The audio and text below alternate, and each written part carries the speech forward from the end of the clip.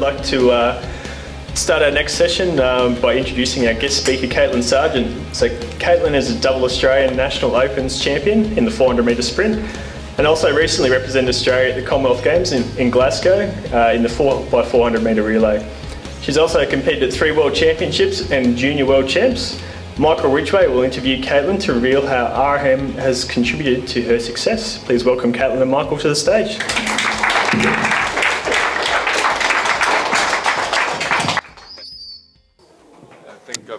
To go over here. Thank you, Dan. Thank you so much for joining us in your personal representation today as an athlete, Caitlin. Thank you for having me. It's exciting to be able to tell my story to the delegates here today. Um, I would like to share, uh, say thank you to my best training partner, my Basset Hound Bonnie. Despite Chris and Peter's best efforts yesterday afternoon, Bonnie is still my best training partner.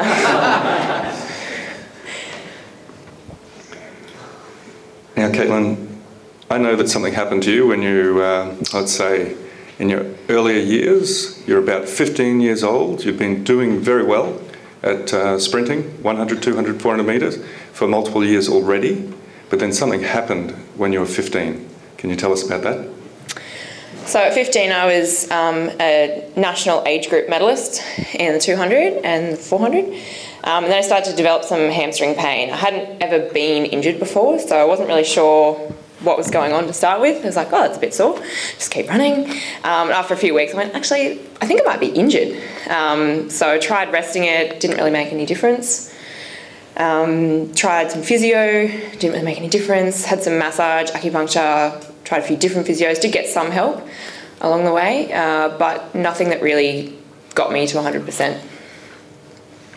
And what sort of concerns did you have back then? Suppose for me, the main thing was um, just the longer I had um, away from a good training block, so the longer I went without having good training behind me, uh, it became quite evident in my com- competition results. So going from a national medalist to barely scraping a state championship final was pretty disappointing. Um, and I just didn't feel like I could see a way out of it. So we were resting, we were trying all these things, and nothing seemed to really be working. So just the frustration of, you know, when will it end? Where are we going with this? Um, and just you know wanting to get back to the to where I had been competition wise. And then something special happened. where am I leading to here? you tried RM. Yes, I did. Um, so pretty quickly, I could see my hamstring range, strength, all those things improving. Um, and more than that, I could one I could see that we were making changes rather than just randomly trying things, and two I could see there was a plan and I could see where we were going, which was the most important thing for me at that point. Perfect, thank you. Ah, so now what what happened? We solved. Yeah, we've solved the condition. Yep. And can you share with everyone what your PCF is and was for that condition? Uh, T9. A T9 release, a glide to the right. Yes. That's what I remember it as. I wouldn't know. I was 15 at the time, so I can't remember which direction. so, let, let, let, has everyone got that? So can we recap on that? Can we paraphrase it? What am I talking about? So we did a T9. I did a T9 glide on you, and what did that do for you? Full hamstring range, full hamstring strength, everything moving well, injury free. In a long period of time, a short period of time? Do you remember? I, I reviewed the notes before we came. I don't remember the exact period of time, but given it had been 12 months already, it was definitely a much shorter period of time than that. it was, it was a few weeks. Okay, we got that. and um, tell me what you thought about all of the hamstring rehab we did. You know, the massaging, the hammy strength work, all of the standard stuff like that. Tell me all about that. I really enjoyed it because there was none of that. okay, thanks for confirming. Talk us through, please. Show us what we're talking about. What was happening and what wasn't going right for you, and then what changed after RM. Show us that. So, first photo is actually one of the times I came back from resting. You'll see thoracic hyperextension, poor pelvic lateral control, um, and also just not very good running technique in general. Um, second photo, I had begun RM training, but obviously still just not very good with my motor control. So still a lot of thoracic hyperextension, um, running straight out the back, so not very efficient. This is, you can even see my lovely motor control taping on at training. So better thoracic position, better stride, more efficient. And then this is nationals last year, so really nice thoracic position, really efficient stride pattern. So better running and less injuries. Thank you. We have to look at what else you had to work on. I like, I like that you could show there that, that taping. Could everyone see that sort of anterior taping for preventing thoracic hyperactive active hyperextension there? So you worked on that type of motor control for preventing re-aggravation of your T9. What else had to change for you to prevent re-aggravation? Let's have a look at some other strategy. Let, you, you talk us through this. Uh, so my breathing. I actually distinctly recall Michael saying when he's still having trouble with your posture, and I said, when I run 500 metre reps, and he said, well, why? I said, because I can't breathe, Michael. So um, I just, so I had to work on how I could breathe and keep my thoracic in a really nice neutral position. So, so this is how I was breathing before. So you'll see um, thoracic hyperextension, but also quite an apical AP pattern, which is not very efficient.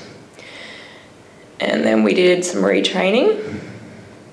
So you'll see keeping thoracic in neutral and also a better bibasal expansion pattern, so more efficient respiration as well, which is what I need at the end of a 400.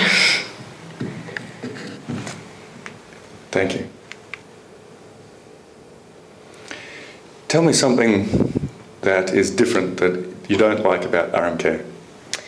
Probably not so much RM on its own, um, more so when I travel away with the Australian team team coaches get very distressed that I don't need physio every day, um, that I'm not strapped together with chicken wire and chewing gum. Um, and if I do need physio, um, it's quite difficult to explain that I'd like my T9 released for my hamstring. Another thing, so, so, it does make you stand out as different. What happened uh, a few months ago, you told me a story. You had a race on in Perth, another national type of meet, and um, you flew to Perth that morning you raced, you won that race, and then you flew home again. And what, what's the repercussions of that? What does that make you stand out like uh, in athletics uh, circles?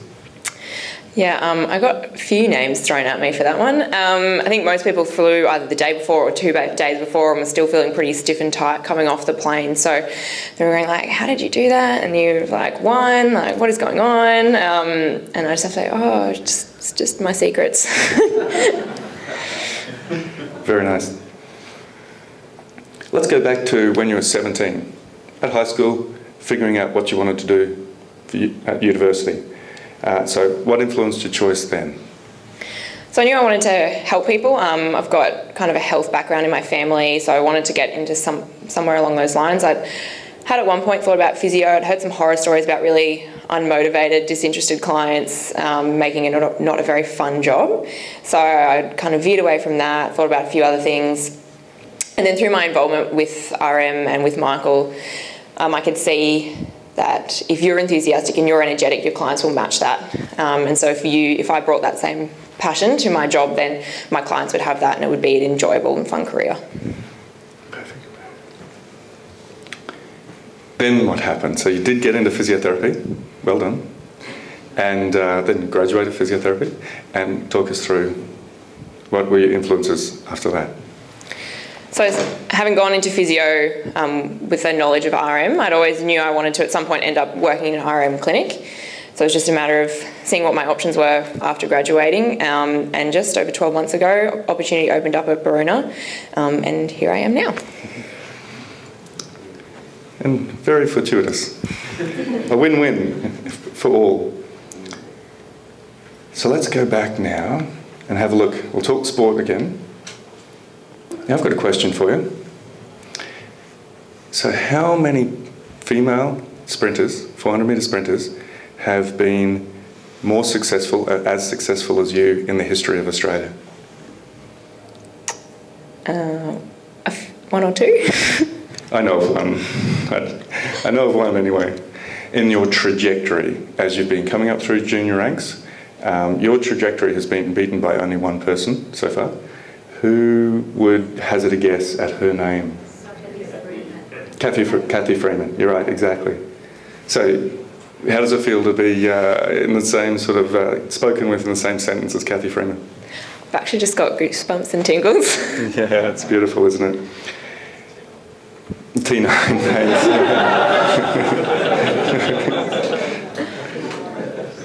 now, there's something else that you've done recently that's uh, been a standout as well. So tell us a bit about that. You know, how many years has it been since uh, 400 metre females represented Australia at the World Champs?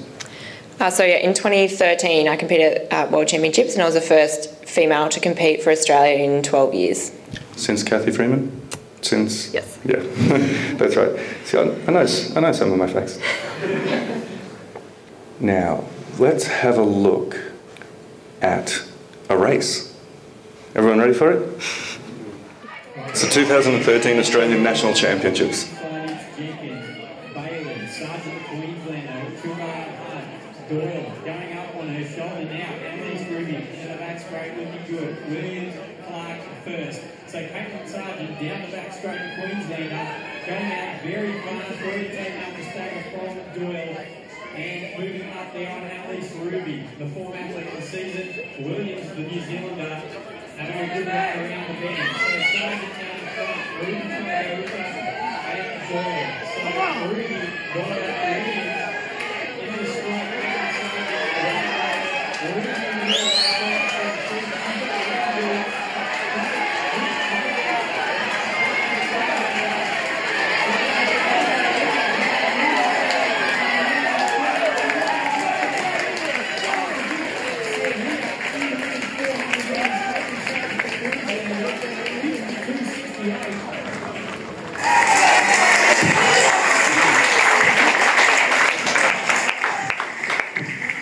Congratulations. Thank you.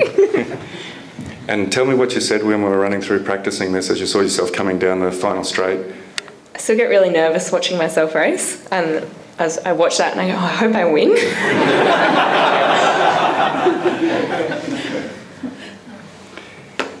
what have we got lined up next? What's happening? Well, two weekends ago, um, we the Australian 4x4 team went to the Bahamas. It's a pretty tough life. And we came seventh at the World Relay Championship, so we've qualified ourselves for the Rio Olympics next year. How beautiful is that? Well done.